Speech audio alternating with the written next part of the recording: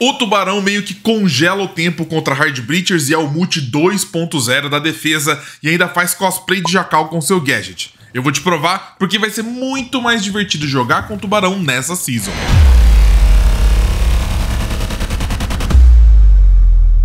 Salve meus jovens padawans, eu sou o Nerd Engenheiro e sejam todos muito bem-vindos ao vídeo que explica quem é o tubarão.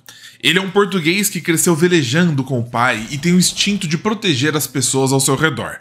Sua conexão com a água e seu instinto protetor fizeram ele criar uma granada criogênica que congela qualquer dispositivo. Só não congela o seu like porque você vai entrar quente aqui com o dedão. Vou ser bem claro, ele congela qualquer dispositivo eletrônico ou mecânico, posicionado no mapa ou no operador. Sim, mesmo gadgets que ficam no operador, tipo o óculos da Ying, são congelados sim. Basicamente, o tubarão é o doutor estranho da defesa e a granada Azoto é o seu olho do Agamotto que para o tempo e buga tudo. Antes de eu te mostrar como o gadget funciona, eu vou falar que o loadout dele até que tá bom. Tem uma DMR, que é aquela do Maverick, que para defesa é bem forte, mas não dá para fazer liga com ela, o que eu acho estranho. Então sobra a arma da Valk. Se a DMR não tivesse tão poucas balas no pente, ou se ela pudesse fazer liga, ela seria a minha primária. Mas nesse caso, eu acho que eu vou me contentar mesmo é com a MPX. O que, que vocês vão preferir?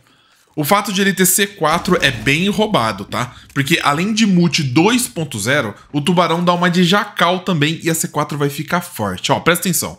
Quando você joga a granada dele, tudo fica congelado numa área esférica de 3 metros de raio. E os inimigos que passam por essa área congelada ficam lentos, como se estivesse andando num arame ou numa banshee. Além de terem um efeito na tela de congelamento também ao redor.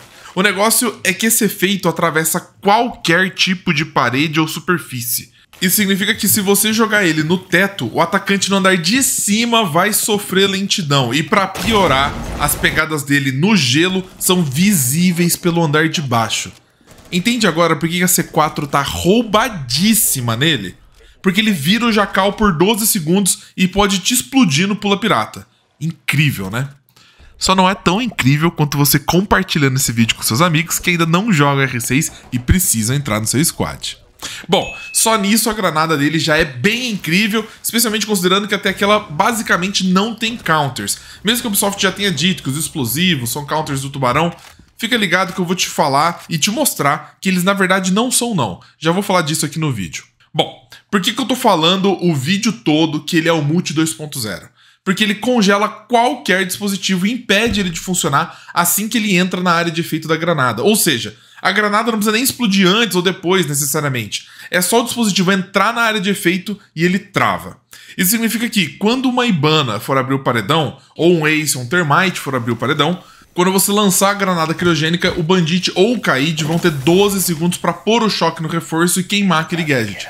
Não importa se o gadget já foi acionado ou não, ele é congelado e só após 12 segundos ele continua de onde ele parou. Isso é tempo suficiente para o Bandit tirar o choque de alguma outra parede, reposicionar ou até mesmo tempo para o efeito do Thatcher passar e os choques voltarem a funcionar. Com essa mecânica, o Tubarão vai voltar para o meta de 2018, que eu tenho muita saudade, aliás, e vai permitir que o Bandit fique queimando o paredão com muito mais sucesso. E agora o Thatcher nem precisa tomar permaban. Você vai ter que trazer granadas ou fazer jogadas verticais para abrir um paredão. E agora voltamos ao seed tático e estratégico que todo mundo sempre pediu. Bom, deixa eu explicar agora por que esse português não tem counters. Bom, é claro que se um dispositivo atingir o canister de gelo, o gelo vai embora instantaneamente. Aliás, a duração de 12 segundos é só e apenas se o canister permanecer vivo por 12 segundos. Se alguém atirar ou explodir ele, já era. Só que o tubarão tem quatro granadas. Se a Sofia ou os caras de granadas forem usar os explosivos contra ele, você vai consumir quatro explosivos valiosos do ataque, só para quebrar esse gelo. Será que isso é um counter ou é mais uma vantagem do tubarão? Ser uma esponja de explosivos? Lembrando que flores e ash não contam, porque o gelo congela eles antes de eles explodirem. Bom, e se você chegou até aqui no vídeo, eu preciso deixar um agradecimento pro GC Gamer, pro Mr. Henrique, pro Striker, que me ajudaram em todas essas gravações de personalizada. Obrigado, vocês são excelentes criadores de conteúdo. E agora eu vou te falar quais são os verdadeiros counters que a Ubisoft não te falou sobre o Tubarão, que é Twitch e Zero. De tudo que foi liberado e comunicado até para nós influenciadores, eles não deram foco nesses dois caras que vão crescer muito contra o Tubarão. Se você conseguir mocosar o drone da Twitch ou uma câmera do zero do outro lado onde ele jogar o canister dele, ele vai conseguir destruir com o choque da Twitch ou com o choque da câmera do zero o canister. E daí o efeito do gelo passa instantaneamente e você vai baitar todo mundo. O tubarão vai ficar perdido sem entender como que aquilo foi destruído tão rápido e nisso dá tempo de você abrir o paredão antes dele jogar outro. Se jogar outro, você joga outro choque, mas isso vai desestabilizar a estratégia de defesa deles. E o negócio é a Twitch mesmo. A Brava, a princípio, não tem efeito sobre a granada quirogênica porque não é um dispositivo eletrônico que é hackeável. Então você pode ter certeza que o tubarão vai aumentar o pick rate ou do zero ou da Twitch, especialmente se você cair contra equipes inteligentes e coordenadas. Agora, o tubarão também pode diminuir o pique de alguns operadores do ataque que vão ficar meio confusos. Por exemplo, o tubarão pode jogar o gelo num próprio colega que vai enfrentar um Glass o Glass não vai ver ele pelo bagulho termal, já que o cara vai ficar gelado. Não tem temperatura pro bagulho do Glass enxergar. Se você acertar isso também na janela, alçapão ou parede onde a Ing estiver entrando enquanto as candelas estouram, ela também vai ficar cega porque o óculos dela vai parar de funcionar. O dardo de fogo do capitão também não vai funcionar, justamente porque ele não vai ser ativado. Mas isso eu não sei se é um bug ou se é algo inteligente, porque só o dardo de fogo que não é ativado, o dardo de fumaça é. E eu não entendi qual é a interação de um pro outro. Aliás, dardo de fogo você perde, você não consegue nem pegar de volta e ele nem ativa depois que o gelo acabar. O que tá estranho para mim, mas tá bom. Então, esses counters do tubarão e contra o tubarão que podem ser realmente diferenciais na sua partida. E se você ficou até o final desse vídeo, coloca aqui dica bônus, porque sim, eu tenho dica bônus do tubarão para você, que são duas. Primeiro,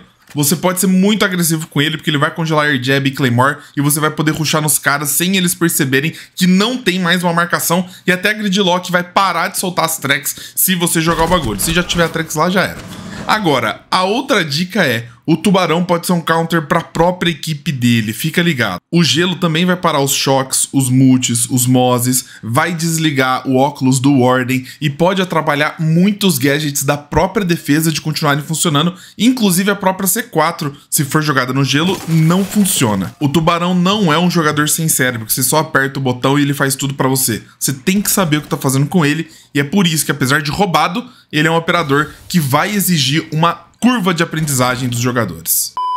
Esse operador foi muito bem pensado pela equipe de design do Rainbow Six e eu tô muito ansioso para colocar ele em prática e me parece que ele vai ser incrivelmente forte e vai entrar muito bem no meta. O que, que vocês acham? Compartilhe esse vídeo com a galera para animar a galera a vir pro Deep Freeze, essa nova operação que tá top. E muito obrigado. Eu sou o Nerd Dinheiro, fiquem com Deus e a gente se vê, claro, sempre no Rainbow Six Siege.